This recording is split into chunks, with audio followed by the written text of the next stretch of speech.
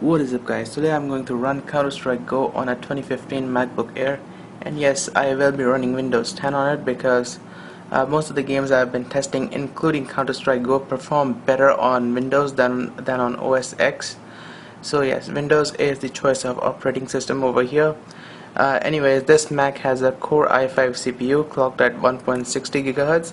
Uh, by the way, this is a dual core CPU, and we've got 4 gigabytes of RAM and a 128 gigabyte SSD. And by the way, no dedicated graphics, uh, so we've got Intel HD 6000 for our graphics card. Anyway, uh, apart from that, uh, we'll be monitoring the uh, CPU temperature so that uh, we see we can take a look at the maximum and minimum temperatures. By the way 49 is the minimum temperature uh, while uh, the Mac is idling. Anyway so let's go ahead and launch the game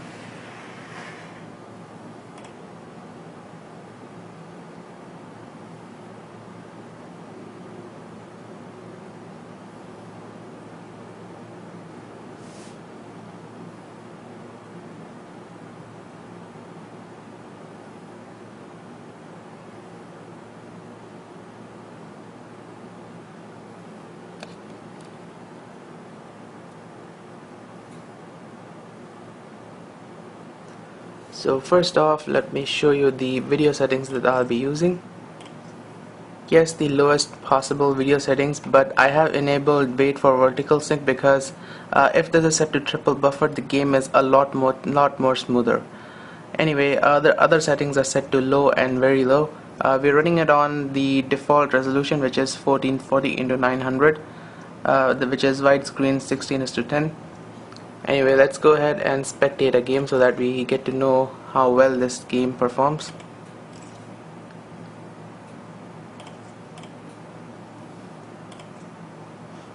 Let's go watch this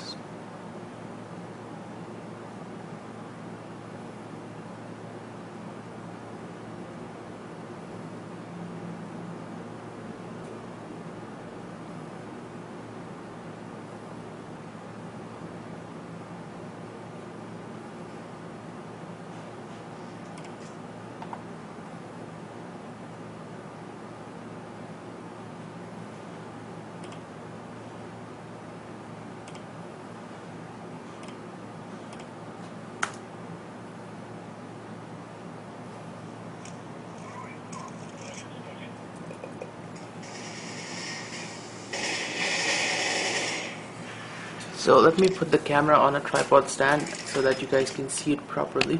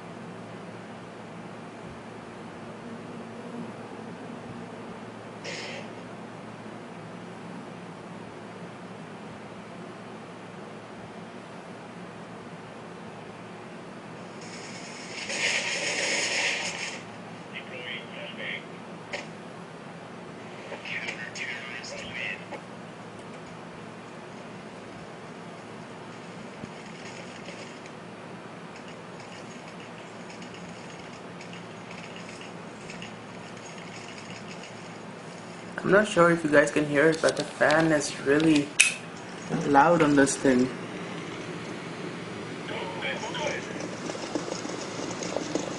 It's pretty noisy. But anyway I can see that the game is perfectly playable. Uh, occasionally the frame rate will, will dip around 40 but that's manageable. Uh, you can reduce the resolution further you can reduce the resolution even further. You can make it uh, 4 4 to 3 and reduce it to 800 to 600 anyway.